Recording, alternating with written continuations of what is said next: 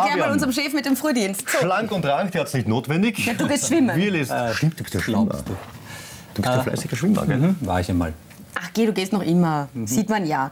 Jetzt besprechen wir die wichtigsten Themen des Tages. Äh, Die Tageszeitungen liegen schon da und da kommen wir gleich mal zur Presse und auch zur kleinen Zeitung. Gestern ist in Frankreich gewählt worden. Der erste Wahlgang war das und gleich vorweg, es hat kein Kandidat so viele Stimmen ge- äh, bekommen, dass er direkt in den Élysée-Palast einziehen wird.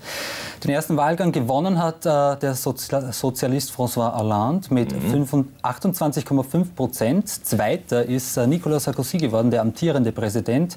Das ist äh, mehr eine Watsche, heißt es. Äh, die beiden Kandidaten kämpfen jetzt bei der Stichwahl in zwei Wochen um das Präsidentenamt. Ähm, und laut Umfragen ist es so, dass Hollande sogar die Wahl gewinnen könnte. Sieht es jetzt zumindest so weit aus. Die Presse zeigt aber eine Achtungsgewinnerin, nämlich äh, Marie Le Pen. Ja, äh, das ist eine äh, Rechtsextremistin.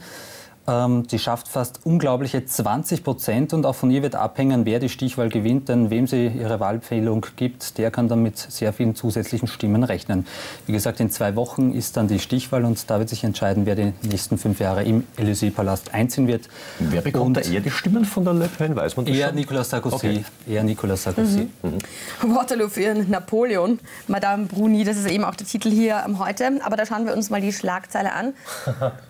Genau, eine Kamersin-Umfrage hat ergeben, Priester sollen heiraten dürfen und auch Sex haben. Ganze 82 Prozent der Österreicher sind dafür, dass der Zölibat abgeschafft werden soll.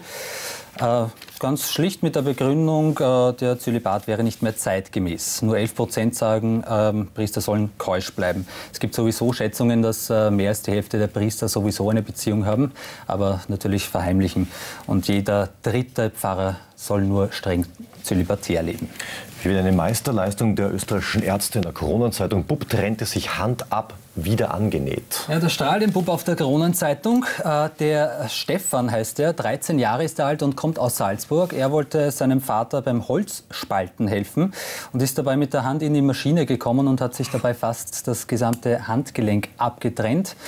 Aber es ist eine Riesenmeisterleistung von den Ärzten im Krankenhaus Schwarzach äh, geglückt. Die haben die schwierige Operation geschafft und die Hand von Stefan wieder annähen können, ganz annähen können und er wird sie sogar wieder ganz normal bewegen können. Ein Tiroler hat den Vierfach-Jackpot geknackt. Die Tageszeitung Österreich, da habe ich nicht ganz gewusst, was soll ich machen. Äh, entweder äh, den 7,4 Millionen Euro Jackpot oder dass Stefan Petzner eine neue Liebe hat. es ist, Oh.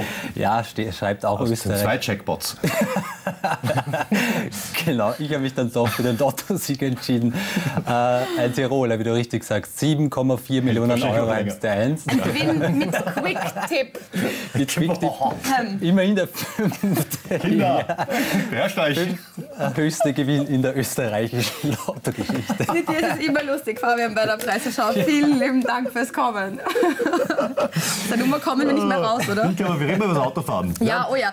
In Wien ist nämlich Taxifahren richtig günstig, viel, viel billiger als zum Beispiel in Graz oder aber auch in Linz. Das zeigt eine aktuelle Studie, überraschend eigentlich. Gell? Wahrscheinlich, wenn man in Wien auch ein bisschen länger unterwegs ist, kommt es einem teurer vor. Es gibt aber ein Taxi, mit dem ist es richtig günstig zu fahren. Und zwar das Quiz-Taxi. Momentan ist nämlich Moderator und Quiz-Taxifahrer Max Schmiedl in Wien unterwegs.